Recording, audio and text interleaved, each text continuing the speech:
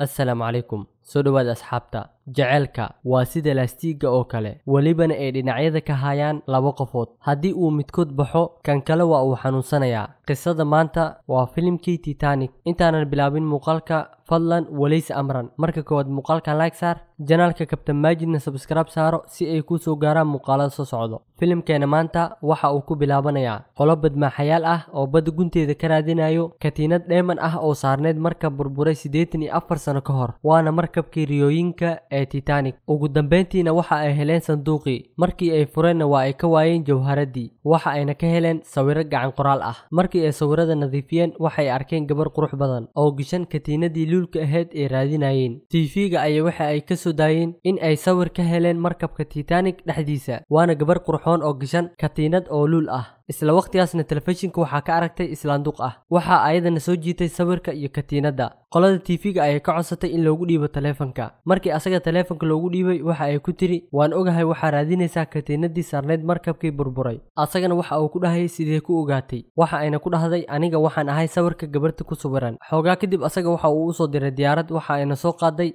ayada iyo gabarteeda. Waxa ayna keentay meeshii uu joogay asaga. Kadibna injineerka waxa uu bilaabay inuu u sharxo ayada qaabka uu markabka u gadoomay iyo sida markabka uu laba qayb ugu kal jabay ayadana waxa ay ku tiri si kale ayaa ugu sheekaysay qisada. Markii koowaad ay aragtay sawirka iyo waxyaabihii kale ee laga helay sanduuqeeda waxay soo xasuusatay nolosheedii hore. Waxa ayna bilaawday inay murugooto. Kadibna madaxa badmaaxayaasha ayaa waxa uu ku dhahay macquul miyaa qisadaada inaa nooga sheekaysid? Waxay bilaawday qisada inay ka sheekayso. Muuqaalkana waxa uu isku gediyey kun sagaal boqol toban iyo labadii waa markab weyn oo taagan dekedda oo dad badan ay rabaan inay fuulaan. Waxaa ka mid ah dadkaas ruusi iyo hooyadeeda iyo kaal oo ah ninkay u dooneed ayada halka ruusi aysan jecleen ninkay u dooneed oo qaniga ahaa. Maxaa yeelay xukunka ayuu ka badin jiray waxa uuna ula dhaqmi jiray sida shay uu soo iibsaday oo kale. Halka dhinaca kale uu joogo jack waxa uuna sharad ku dhigtay dekedda dhexdeeda. Ugu dambeyntiina waxa uu ku guulaystay tikidkiisa iyo tikidka saaxiibkiisa weyterka waxa uu ku dhahayaa waxa idiin hartay shan daqiiqo oo keliya markabka titanic waa uu bixi rabaa. Jack iyo saaxiibkiis waxay u soo cararayaan xagga markabka. Ugu dambeyntiina waa ay ka gaarayaan intuu bixin. Markabkana waxa uu bilaabayaa inuu dhaqaaqo. Jack waxa uu jecel yahay sawirka asagoo wax sawiraayo oo welibana la sheekaysanaya saaxiibkiisa. Ayuu qaybta taajiriinta waxa uu ka arkayaa gabar aad u qurxoon asagana waxa uu bilaabayaa in uu si fiican u fiirsado. Saaxiibkiisna intuu yaabo ayuu dhahayaa jaago maxaa fiirinaysaa intaas oo dhan? Habeenkii ruus waxay ahayd mid aad u murugaysan. Hal mar ayay waxay go'aansanaysaa inay isdisho siday u ordaysay waxa ay soo gaaraysaa dhammaadka markabka ayadoo weli istuurin ayaa waxaa arkaya jack. Si cajiib ah ayuu u badbaadinayaane. Kadibna ninkay u dooneed ayaa imaanayo asagana si uu jack u abaalmariyo habeen dambe ayuu casho ku casuumayaa. Ayadana maalinkii labaad ayay u imaanaysaa si ay ugu mahad celiso. Kadibna waxay aragtay sawiradii uu sawiri jiray. Ayadana waa ay ka heshay. Ilaa galabtii laga gaaray waa ay isla hadlayeen waxa uuna ugu sheekeynayay noloshiisii waagii uu yaraay. Ilaa markii dambe ay imaatay hooyadeed oo la socota saaxiibadeed waxayna kaxaysay gabarteeda si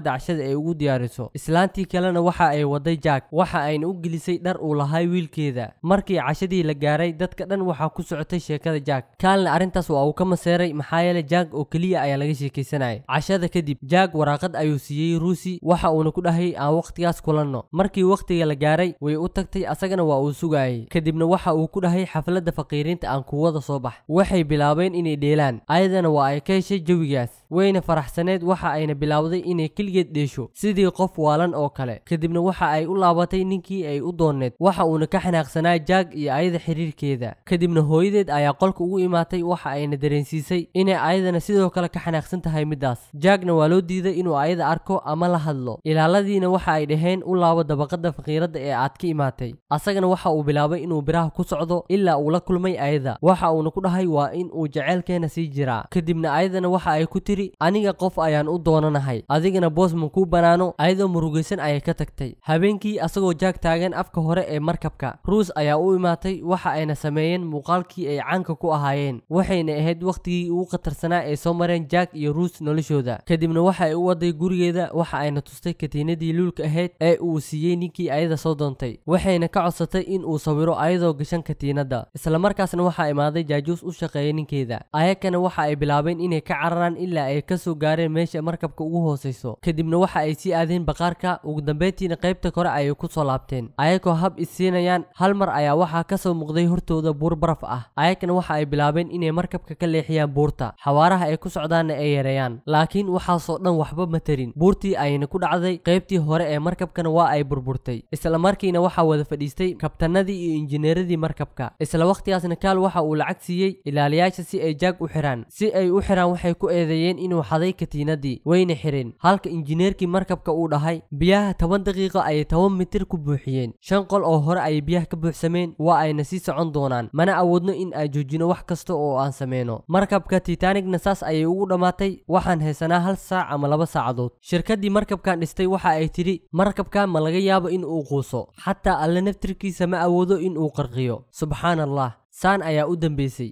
waxay bilaabeen inay dadka ku dhahaan gejta dharka badbaadada. Waxa ayna dirsadeen fariin ah in ay quusi doonaan. Sidoo kalena waxa ay bilaabeen inay diyaarsadaan doomanka si ay u badbaadiyaan dadka saaran markabka. Afar saacadood ayay haystaan. Ruus iyo hooyadeed iyo kaal waxa ay fuuleen doonta laakiin ruus ma rabtay in ay ka tagta jack. Waxa ayna aaday asaga si ay u badbaadiso. Markii ay u tagtay waxa ay aragtay asaga oo xiran. Waxa ayna raadisay wax ay ku jebiso. Misaar ayay heshay ugu dambeyntii waxa ayna jartay silsiladda. Saas ayayna naftiisa ku badbaadisay markii ay damceen inay kor fuulaan waxa ay arkeen albaabka oo xiran. Korna aysan aadi karin. Waddo kale ayay ka soo baxeen ilaa markii dambe ay ka imaadeen qaybta kore. Meeshana fowdo ayaa ka bilaabatay. Doomankiina waxa ay ku dhow yihiin inay buuxsamaan. Mana loo ogolo ilaa carruurta iyo haweenka mooye. Ruusina ma rabto in ay degato jaag la'aantiisa. Ugu dambeyntiina waxa ay fuushay doonta. Markii ay aragtay in uu soo raacaynin jaag way ka soo degatay. Asagana waxa uu bilaabay in uu aado ayada xaggeeda. Ninkii ay u dooneed waa uu ka soo daba cararay waxa uuna bilaabay in uu xabadeeyo jack. Ugu dambeyntiina jack waxa uu la kulmay gabarta waxa ayna labadooda u carareen qaybta hoose. Ugu dambeyntiina waxa ay awoodeen inay kor u soo laabtaan. Kabtankiina waa uu isdhiibay geeri ayuuna diyaar u noqday. Halka jack iyo ruusi ay tageen meesha ugu sarreysa ee markabka. Dadka dhanna waa ay fiigtaalsanaayeen. Markabkana waxa uu bilaabay in uu kala qaybsamo jack iyo ruusna waa ay isku dhegnaayeen. Waxa ayna joogeen qaybta markabka ka hartay. Dadkana waxa ay ku dhimanayeen hortooda. Markabkana waxa uu bilaabay in uu quuso. Jack iyo ruus waxa ay heleen alwaax u dhowaay ruus